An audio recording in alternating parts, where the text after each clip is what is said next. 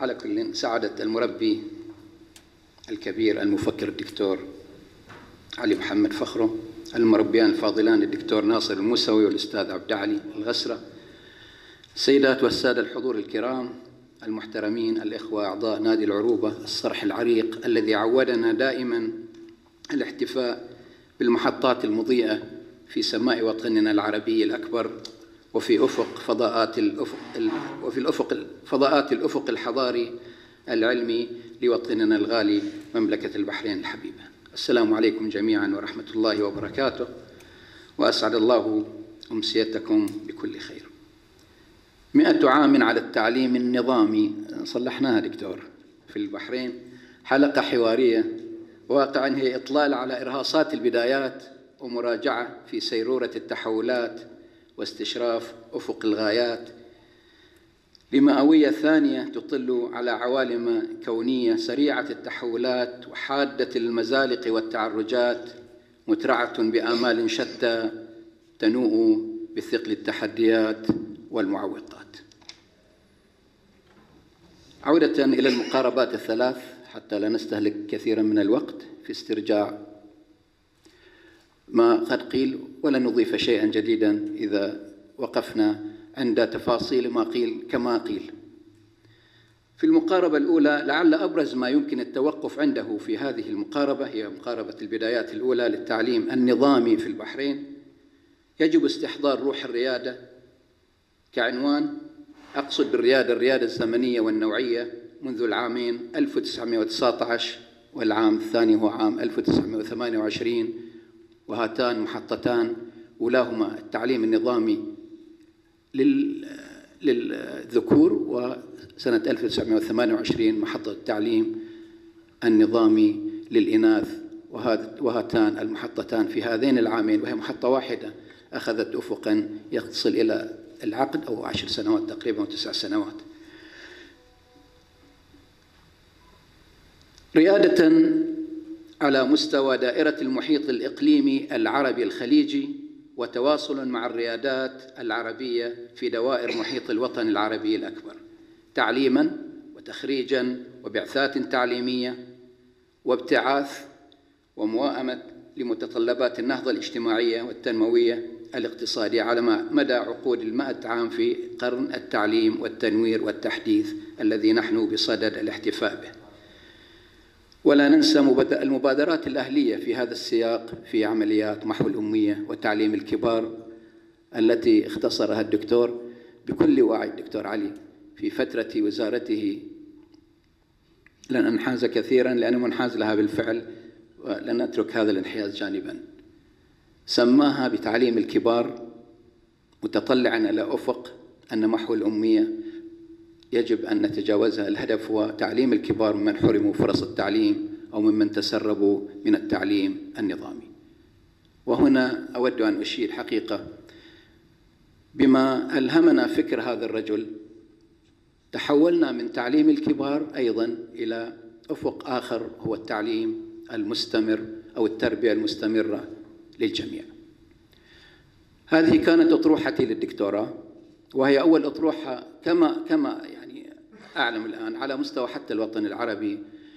حقيقة استشرف هذا الرجل أن التعليم النظامي بكيفياته المعتادة التقليدية وتعليم الكبار الذي يستوعب هؤلاء الذين يطردهم التعليم النظامي ويكرر لهم ويعيد إنتاج مناهج ليست مناهج حتى حقيقة إنما فيما بعد تواضعنا على وضع وثائق لمناهج تعليم الكبار في مملكة البحرين لأول مرة حقيقة. فأفق التعليم المستمر وهو عنوان الإدارة التي كنت أديرها قبل أن أتخر... أن قبل أن أتخرج يسمي تخرج قبل أن أتقاعد. تحولت الإدارة من إدارة تعليم الكبار إلى إدارة التعليم المستمر متضمنا برامج لخدمة المجتمع متنوعة وكثيرة تقدم الكثير من الآفاق التحضيرية التنويرية والتعليمية لست بصدد تعدادها الآن. بالإضافة إلى الانفتاح على تعليم ثانوي مسائي وكان الطموح أكبر قبل أن أتقاعد في أن ننفتح على بعض المبادرات التي قدمتها تمكين وقدمت لها في هذه القاعة قبل حوالي أربع أو خمس سنوات يمكن الدكتورة غنية كانت هنا. حول ما هي الآفاق التي يمكن أن نستفيد منها؟ مبادرة التمكين في دمجها في أفق التعليم المستمر حتى على المستوى الحرفي الذي يمس تدريب بعض أبنائنا بعض إخواننا على الحرف المهنية القديمة التراثية وتقديم أفق آخر غير الأفق المتعارف عليه آه، عربيا في تنميط هذا التعليم. فله الشكر على ذلك وأنا ملهم بتجربته. المقاربة الثانية لامست واقع العملية التعليمية البحرينية مستعرضة لوجستيات التعليم والكادر البشري الوطني ومنظومة المناهج إلى آخر ما ذكره الدكتور. طبعا في منظومة التأهيل تدرجا كان هناك المعهد العالي للمعلمين ثم بقسمين معهد الإناث ومعهد الذكور. كلية البحرين الجامعية قبل أن تأسس جامعة البحرين التي احتضنت كلية التربية بجامعة البحرين والدكتور ناصر أحد أساتذتها المبرزين. وعندنا الآن كلية إعداد المعلمين. لا أدري كيف هادت هذه الازدواجية داخل جامعتنا الوطنية. هي أفق آخر لا أعرف آه، مسوغاته إن أول ما يمكن أن يميز تجربة مملكة البحرين في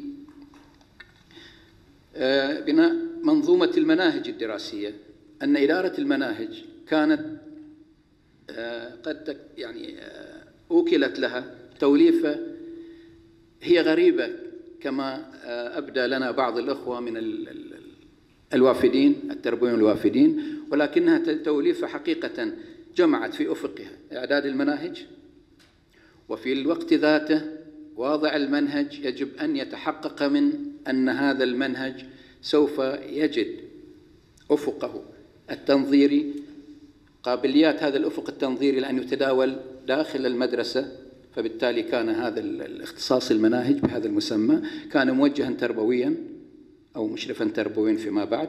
بعدها فصلت بعد الألفين بعد ما الدكتور ترك الوزارة وفصلت المسألة وأعادوا تنظيم القديم الذي لم يجري شيئا. في هذا الخضم كانت تجربة نظام معلم الفصل التي أشار لها الدكتور. تجربة رائدة ناجحة بكل المقاييس.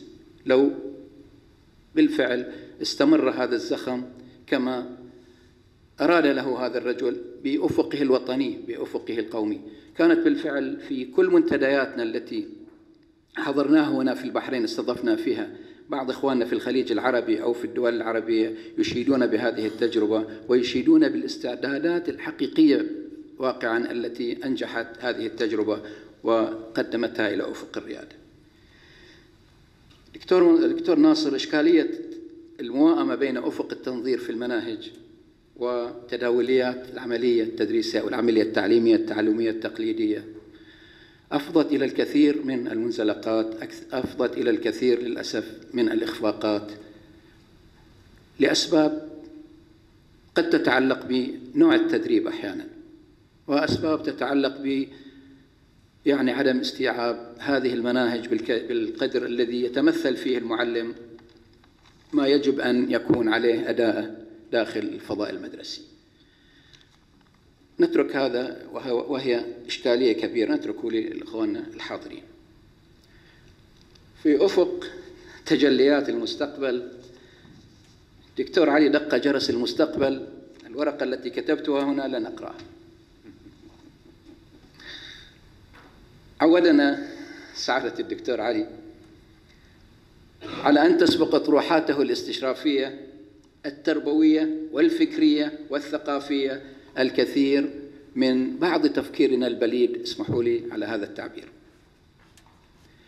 نحن بالفعل في هذه الليلة قد دق الدكتور علي فخرو بفكره النير الكثير دق جرس المستقبل بالكثير من الأمور التي سأستعرضها هنا فقط للتذكير لتكون مع ما طرح سابقا في الورقتين السابقتين مجالا أو محورا لتداولياتنا في مناقشات هذه الأمسية الجميلة بكم إن شاء الله. المهم جدا الجانب الثقافي في إعداد المعلم حقيقه. تمهين المعلم أخذ من حيث فهم خطا. من مكون هذا التمهين هو أن يكون المعلم مثقفا أن يكون رائدا. يعني ليس حدود المعلم هذا الكتاب الذي يقرأه ولا حدود المنهج الذي فرض عليه أحيانا دون أن يبتدع في داخله مقاربات ويجترح أدوات تدريس ويجترح تقنيات تدريس تليق بمجتمع يطمح إلى أن يجعل أو يصنع من هؤلاء والمعذرة على تعبير الصناعة الصناعة ليس بمعناها بمعنى خلق هؤلاء الطلاب طلاب مفكرين قادرين على الانتقاد وهي الأمور التي سنتداولها. ديمقراطية العلاقة في المؤسسة التربوية والتشاركية فيها هذا أحد أصداء هذا الجرس الذي قرعه الدكتور. الاستقلالية الإدارية كلها محط أسئلة حقيقة في واقع نعيشه ونتشوف من خلاله إلى أن نحقق مستقبلا تربويا زاهرا على أرض هذا الوطن. سأعود لورقتي لتذكر شيء. حقيقة في الثمانينات والتسعينات من القرن الماضي. حفلت كل أدبياتنا التربوية على أرض مملكة البحرين الحبيبة بالكثير من المقولات ولنقل المفاهيم مجتمع المعرفة. هذا أحد الأمور التي كان الدكتور علي فخرو يطرقها دائما من موقع ريادته الفكرية وموقع مسؤوليته الفكرية والثقافية. المجتمع المتعلم تعليم للجميع توظيف تقنيات المعلومات إنتاج المعرفة وتداولها ونشرها. كل هذه الأمور حقيقة عندما جاء المشروع الإصلاحي لجلالة الملك كأنما كنا عطشة حقيقة وحاولنا أن ننشغل ونشتغل بأمور لم تكن في وارد ذهننا في يوم من الأيام. ريت حافظنا عليها واستمرينا في قطف ثمار إنجازاتها بعيدا عن أفق التنظير. في إدارة المناهج دخل عندنا شيء ما يسمى ب دكتورة غنية موجودة زميلتنا مهارات الحياة. كان عندنا منهج خاص بمهارات الحياة. هذا المنهج موجود في الدول المتقدمة وحاولنا أن نقاربه من كل اختصاصي المواد التعليمية. هو منهج بيني ما يسمى بالمناهج البينية. أضاف إلينا هذا الأفق أيضا أفق المشروع الإصلاحي التربية منهج التربية على الديمقراطية وحقوق الإنسان. ولكنه ابتذل إلى تدريس التاريخ وإعادة تدريس التاريخ بشيء مبتذل لا يرقى إلى الوثيقة وهي عندي. عندنا مقرر الخدمة الاجتماعية. هذا وجد له بعض المصادق في مدارسنا. وعندنا منهج للثقافة الشعبية. أنا كنت منسق هذا المنهج. حقيقة وجد له هذا المنهج وجد له أفقا عالميا وكذا مؤسسة عالمية في ألمانيا وغير ألمانيا. أشادوا بهذا هذه المقاربة للثقافة الشعبية مستحضرة في أفق استحضار القيمة وليس استحضار السرد. القصصي أو السرد سرد أي شيء من المعارف المعارف الأجداد. لا إنما استحضار القيمة وتربية الإنسان من خلال منظومة قيمه الاجتماعية. أعود ثانية للجرس الثاني ديمقراطية العلاقات والتشاركية الاستقلالية الإدارية. المعلم وهو الركيزة التي أكد عليها الدكتور علي فخرو منذ يعني في الثمانينات وفي التسعينات أنه أساس أو مدمك البناء الأول في أن يعلم. وقال هذه الكلمة أن معلما رديئا قد يقتل يموت على يده هكذا تقريبا التعبير يموت على يده منهج وضاء أو منهج راقي نسق التنظيم في نظام معلم الفصل. للأسف تراجع كثيرا هذا النسق وأخذ شكلية مقيتة. ما كان يطمح لها الدكتور ما كان يطمح الدكتور أن يرى أن هذا الموضوع سيصل إلى هذا الحد. التحول من تلقين المعلومات إلى إنتاج المعرفة وهذا تكلمنا عنه.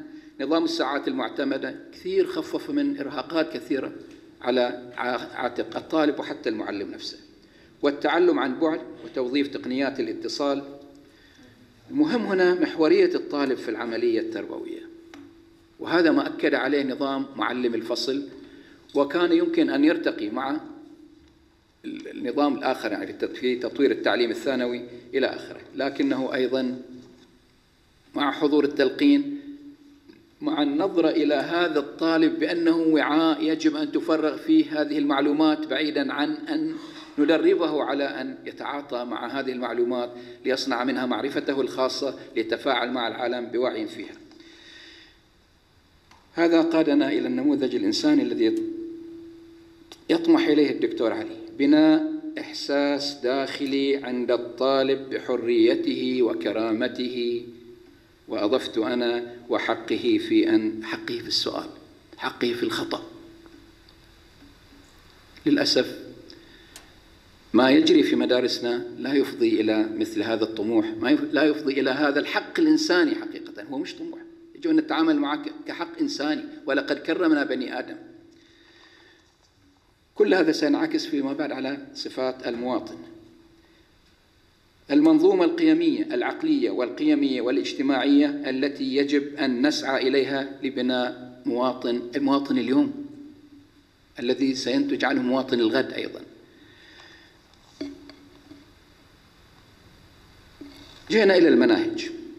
وهذه آخر نقطة في هذه المداخلة.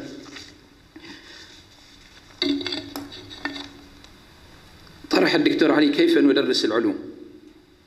وكيف ندرس التاريخ أو وعي التاريخ والاشتغال على الوعي فيه؟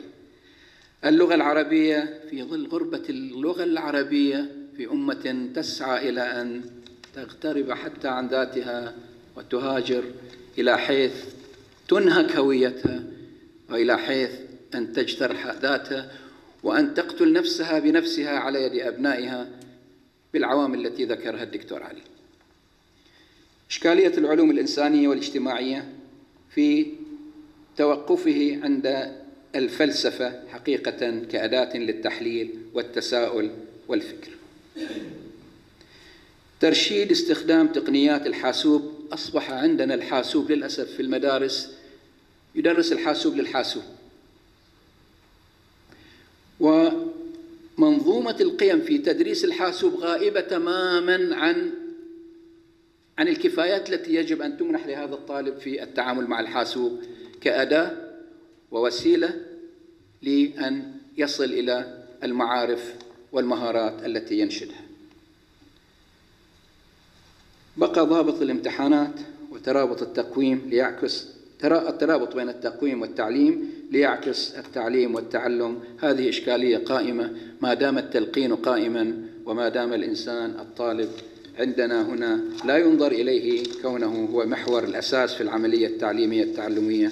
وعذرا على الإطالة وعذرا على التكرار إن حصل وعذرا على بعض التلكؤ في الكلام لأنني بالفعل أمام هذه الطروحات الثلاث أنا دعيت الدكتور أبو شيماء قال لي فقط مستقبل التعليم في البحرين. فكنت سأشتغل على هذا الجانب الجانب الأخير لورقة دكتورنا. ولكن سعدت أيضا في أننا استحضرنا التاريخ ويجب أن نستحضر منه الريادة واستحضرنا الواقع ليضع أيدينا على الكثير من العثرات وعن غياب أفق التنظير عن أفق الممارسات التداولية. وشكرا لكم دكتور علي على قرع هذا الجرس بما فيه من وجع في من من حاضر وتطلع بأمل إلى مستقبل زاهر لهذه الأمة. نثق به جميعا وسيكون رغم كل أعداء الأمة في الداخل والخارج. شكرا جزيلا.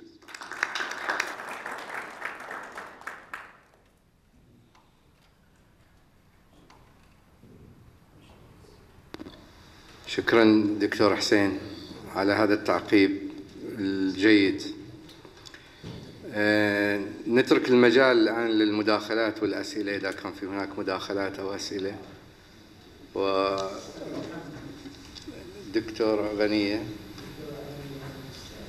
دكتور محمد يبي.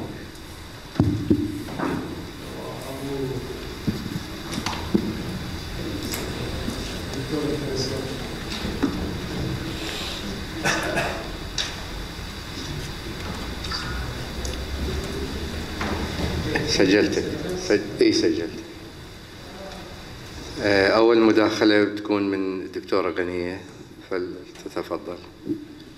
بسم الله الرحمن الرحيم. ومساء الخير للجميع.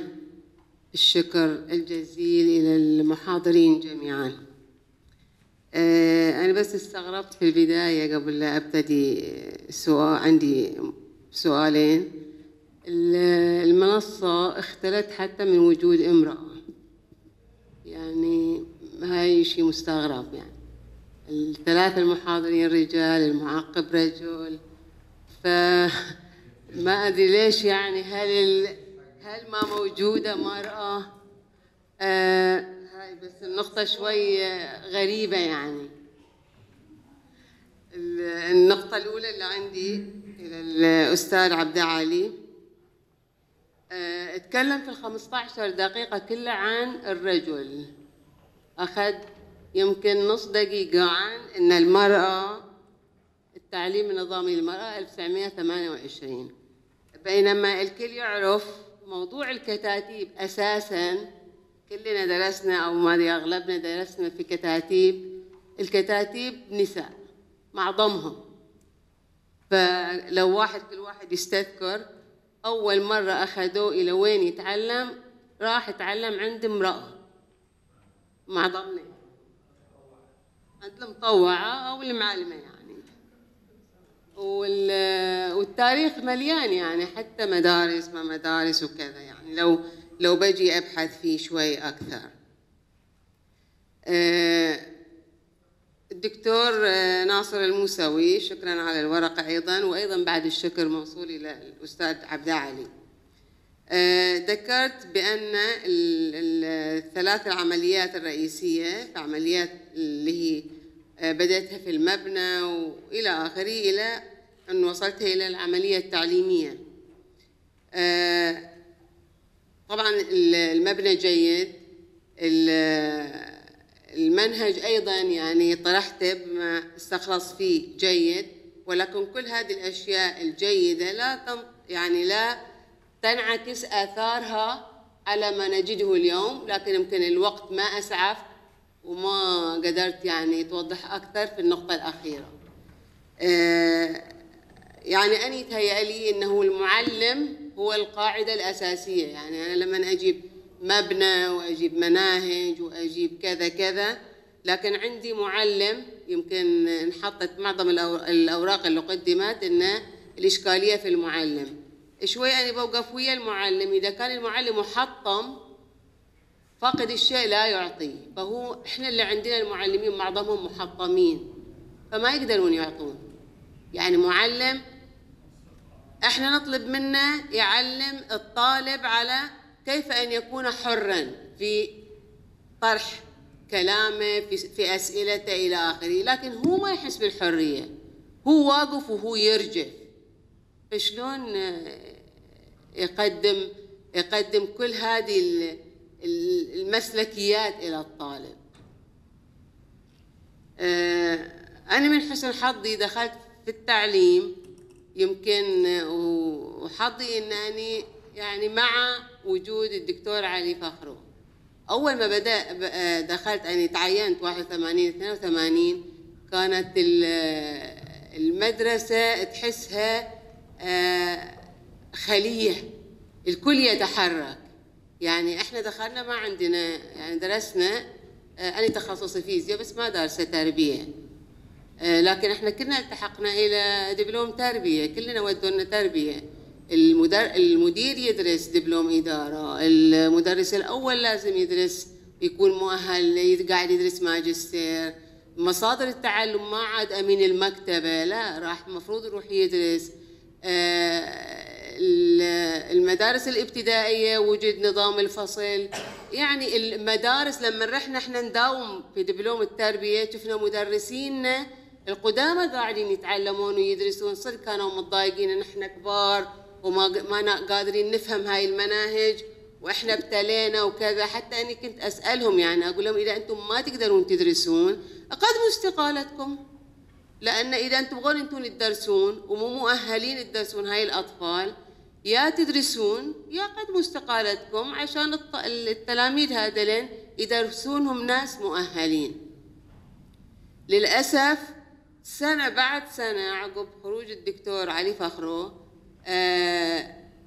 تحس إن ال- النظام التعليمي قاعد ينهار شوي شوي. ظلت الأسماء موجودة. يعني الاسم موجود. انه آه، في في المدرسة وحدة تربوية. أول ما بدأ كان في المدرسة الانتخابات ونزلت 28 أتذكر وقتها 28 اسم. وفي تصويت وكذا وإلى آخره وفزنا مجموعة من المدرسات فازوا وحتى هاي المجلس الإدارة موجود إن خمسة من المعلمات آه، مدير المدرسة موجود يعني نص إدارة ونص مدرسة والكل يشتغل حتى اختيار المدرس المتميز من هذه من من هذه المجموعة قاعدة يختارون الكل يقدم آه، ملف وإلى آخره. لكن لما أجي أقارنه بين قبل 30 آه، سنة واليوم لا ما عاد هذا موجود. أيضا تأسست آه، جمعيات للمدرسين. وكنا نتناقش ونتحاور خارج المدرسة. يعني أنا أول ما بديت وتزوجت حتى ساعات الرضا ما كنا ناخذها. لكن تعال قارن قبل ثلاثين سنة وما يحدث اليوم ما موجود هذا الشيء. إذا في سبب أكيد مو لأن المعلم في شيء أكبر من المعلم. بس إحنا لأن ما نقدر نتكلم في اللي أكبر من المعلم فنجود المعلم ونبتدي يعني عليه بالصوت. يعني هذا يعني إذا أنا أبغى أفكر فعلا ليش التعليم قاعد يصير فيه هذا الانحدار في شيء أكبر لازم أبتدي أقعد وأدرس الموضوع بشكل بطريقة أحللة وأحلله يعني من جميع الاتجاهات. يعني حتى النظام معلم الفصل اللي أسمعه اليوم إن هذا بعد راح يختفي. هذا فاشل وهذا نظامه زين وكذا وكذا. يعني بتشوفون عقب سنتين ثلاث ما موجود هذا النظام. هذا كله السنوات إحنا ما سألنا ليش هل قد عدد من المدرسين قدموا؟ بس هذا سؤال. أي والله. أنا أس... هذا السؤال مطروح إلى ال... إلى الثلاثة المحاضرين. ليش هل قد عدد من المدرسين قدموا تقاعد اختياري؟ وش السبب؟ والسؤال الثاني إذا مدر... إذا التلاميذ من صف أول وثاني وثالث أجيب إليهم مدرسين وافدين. إذا من المغرب. إحنا الكبار ما نفهم اللهجة المغربية. فشلون هذا بيدرس آه، أطفال؟ شكرا. نعم. تفضل.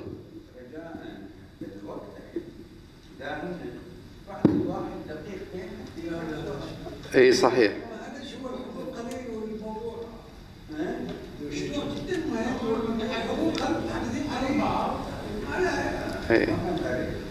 العدد السائلين قليل مش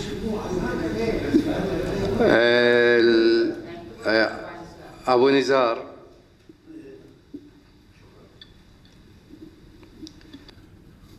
بسم الله الرحمن الرحيم. أقدم الشكر أولا للأخوة المحاضرين وأحيي الأخوة الحاضرين. آه، وأنا أستمع إلى سعادة الدكتور علي فخرو أتذكر عندما تولى منصب الوزارة. سمعت أنا وسمع الكثير من البحرينيين بأن الدكتور عكف على دراسة وضعية وزارة التربية والتعليم لمدة ستة شهور. هكذا يقال. ربما الخبر فيه صحة أو ليس فيه صحة يستطيع الدكتور أن ينفي أو يثبت ذلك. ولكني سمعت كما سمع غيري. وضع يده في هذه الفترة على نقاط هامة جدا جدا.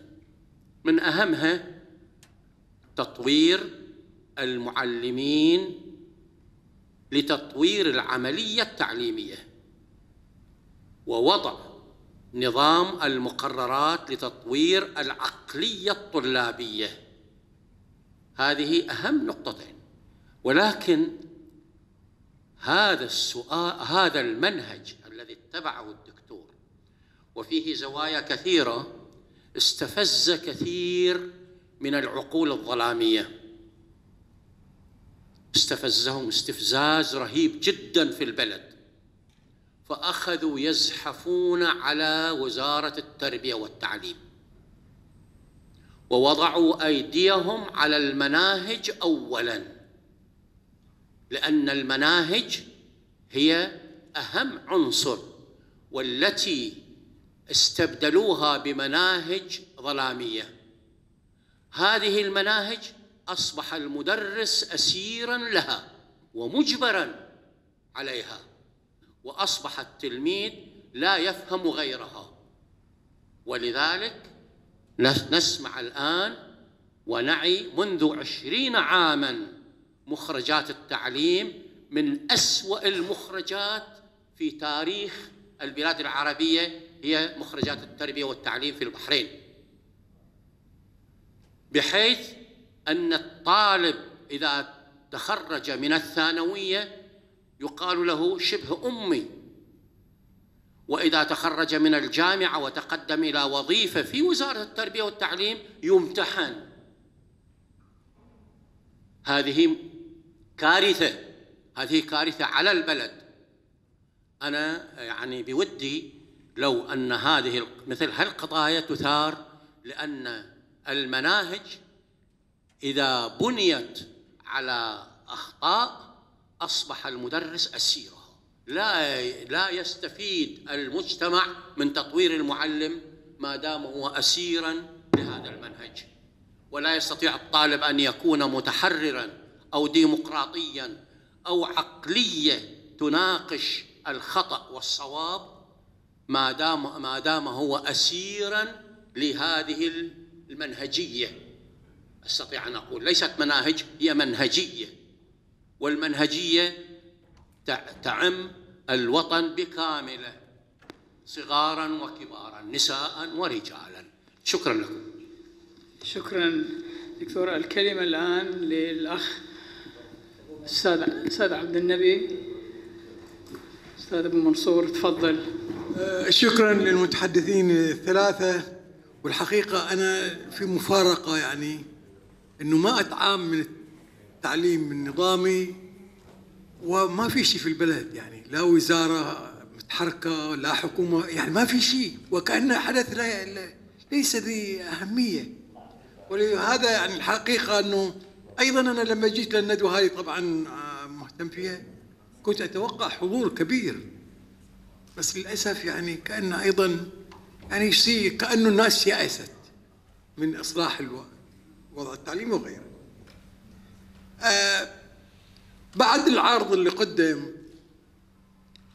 الآن يعني أدركت مدى الخسارة اللي خسرتها البحرين بعدم إكمال الدكتور علي فخرو لمشروعه اللي هو جاي عن مشروع رؤية لأنه يبدو خلق يعني دفع أو مثل ما ذكر استنفر القوى الظلامية بدأ هناك يخلق مدرس مبدع أو خلاق وطالب متسائل وهذا يشكل خطورة.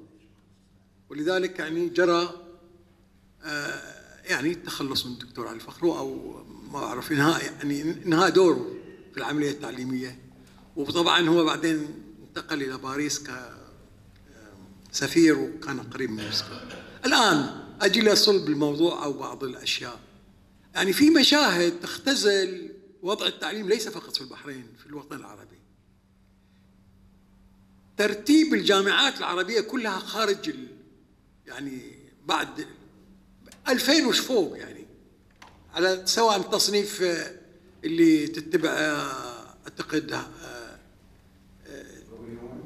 Times Times أو شيء مؤسسة Times جامعة البحرين 2500 أعتقد جامعة البحرين رسمي ها؟ لا لا هذا هذا كلام. هذا يمكن ما خلوا شالوا الأصفار يعني. لكن وجامعه اللي بعدها جامعة الخليج أيضا 2700 وأول بعدين أفضل جامعة أهلية الجامعة الأهلية 2700 وشوي. فهذا يدرك وبعدين يجي فعلا وجوه يقولون إن الجامعة فهذا مشهد يراويك ان إحنا خارج إطار التصنيع يعني خارج. هذا هذا مؤشر مؤشرات الوضع. التدهور ليس فقط في البحرين تدهور في التعليم العربي كله المشهد الآخر اللي يعكس يعني كيف النظرة الدونية أو ما مدرسة المشاغبين كيف كانت تقدم ما يجري في المدرسة. والشعب العربي يتابع مهووس يمكن أكثر يعني مسرحية آه، تابعها ملايين وأجيال والأجيال وهي تستمتع بسادية شديدة مفرطة بالوضع المأساوي اللي إحنا فيه. القضية الثالثة من وقت لآخر يمكن تطلع لنا مشاهد بما يجري في المدارس. ضرب بشع يؤدي للموت أحيانا. المدرس يضرب طالب. نحن خارج يعني الآن يمكن الناس سمعت أنه بلد مثل فنلندا لا عندها منافط ولا كيف هي الأولى في العالم. ونحن كم ماذا نضيف للعالم؟ لا نضيف شيء. يعني انت تشوف الاختراعات الابداعات الكتب اللي يعني بلد مثل بلد صغير مثل المجر افضل منا في في في, في الابداع الفكري في المخترعات في حتى عدد الكتب اللي يطبعونها. المجر سبعة مليون تطبع كتب أكثر من الوطن العربي. فالحقيقة الرؤية اللي طرحها يعني اولا عندي يمكن دكتور ناصر عرض آه، بعض ثلاثة العناصر. إيش من مباني إحنا عندنا؟ شوف انت المباني يعني هذه مش مباني يعني القرن العشرين. السبورة الإلكترونية ما في عندنا. الان كله ورق ورق حتى إنه الطلبة كانت مشكلة إن ثقل الكتب اللي يشيلونها. يعني مع التقدير إلى الاخلاص الناس وغيره وغيره لكن نحن متخلفين في كل في كل المجالات. بالنسبة للدكتور علي فخرو أنت طرحت طبعا رؤية لكن هذه الرؤية أين ممكن تتحقق؟ هل ممكن تتحقق في مجتمعنا الحالي في نظامنا الحالي في سواء البحرين أو غيرها؟ أنت الجهل هو السائد. إلا بتنتج لك دكاترة وأطباء ومهندسين من من كوادر داعش. فماذا يعني؟ يعني هذا هو الفصام يعني. إيه، والاختراعات اللي تتم اختراعات تدميرية. يعني لما يقول لك الطائرة بدون طيار أو طائره إيش يسمونها؟ مسيره اللي اللي اللي دخل العرب يسيروها لقصف يعني القنابل أو الحر. يعني شيء لم نسمع عنها استخدامها في الزراعة ولا في في النجدة نجدة فأنت تتكلم عن فعلا وضع هو يجب أن يكون هكذا. لكن في ظل وضعنا العربي لا هناك في ترابط بين تعليم مبدع منتج في منتج في الديمقراطية وبين الوضع المجتمع والدولة بدون هذا اثنين ولا كيف صارت تقدمت هذه البلدان؟ كيف لماذا ال 500 أفضل جامعات هي في بلدان ديمقراطية وليست في, في أي نظام استبدادي؟ الفنلندا مثلا لماذا هي متقدمة؟ لأن عندهم أكثر من نصف مجلس النواب البرلمان ما لهم نساء ومو نساء بس عدد نساء متعلمات رئيسة الجمهورية المرأة هذا يدلك على السبق في إريكسون هم أيضا من الموبايلات يعني مجتمع متعلم. فهذا مرتبط بهذا. وهل نبكي على وضعنا؟ أنا أعتقد هذا يحفز إلى أن فعلا في نحن متخلفين في في كل في كل النواحي ومتخلفين في التعليم ومقموعين في التعليم ومستبدين في التعليم ولا أدري شكرا أخ عبد النبي. شكرا. يعطيك العافية. الدكتور دكتور فيصل شاب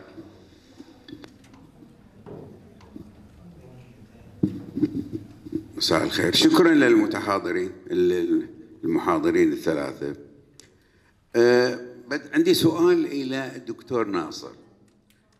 دكتور ناصر انت طرحت موضوع المناهج والمقررات صحيح ولا لا؟ صحيح فرق بين المناهج والمقررات هاي نعرفه إحنا بالتربية المناهج هي الغايات والوسائل والشغلات كلها جاية بس ما تعتقد انه عدم تطبيق هذه الاهداف أو صعوبة تطبيقها نتيجة لوجود مقررات متشابهة بمعنى انه المدارس المدارس في موادها تستخدم مقررات إلى الكل بمعنى أنه الامتحانات تكون ضمن هذا المقرر يعني ما في حرية بالنسبة إلى كل مدرسة أو كل منطقة تعليمية أن تختار المقررات اللي تريدها مثل ما موجود في أوروبا وموجود في هذا. يعني بمعنى أنه آه، آه، لما مدرسة أو وزارة التربية والتعليم آه، تصر على تطبيق هذا المقرر أو تزيل جزء منه صح ولا لا؟ كل المدارس تاخذ هذا. هذا يعيق بشكل أو بآخر شنو؟ يعيق قضية تطبيق الأهداف التعليمية. وهذه مشكلة كانت تواجهها لما كنا نروح المدارس ولما. نشوف يعني نتابع طلابنا أو المتدربين عندنا في المدارس نشوف إشكالية بين تطبيق الأهداف وبين ما هو موجود بالمقررات. هذا جانب. الجانب الثاني عندي للدكتور علي فخرو. علي فخرو آه، يعني بلا شك الشغلات اللي طرحها نموذجية. وأنا لا أعتقد أنه تطبق في مجتمع مثل مجتمعنا. يعني هذه في الدول الأوروبية في الدول الأوروبية المتقدمة. بس أريد أقول شغلة. أول ما أنا درست بالجامعة آه، درست نظام معلم الفصل.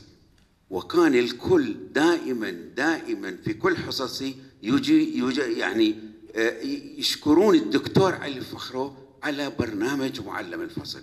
هذا اللي نقلهم نقلة نوعية وهذا صحيح. بعضهم في بداية الأمر يمكن الدكتور علي فخرو لاحظها إنه كانت في رده كان في امتناع. حتى ناس اتهموا واحد يقول لي هذا علي فخرو هذا يريد يخرب البلد يخرب. بعدين بالأخير بالأخير قالوا صحيح إنه استطعنا أن نتعامل مع حتى عائلاتنا ومع أولادنا نتيجة لهالبرنامج. درسوا علم النفس درسوا مواد قبل ما كانوا يستوعبوها ولا كانوا يفهموها. شغلة أخرى بالنسبة للدكتور علي فخرو عندي شغلة سلبية. نظام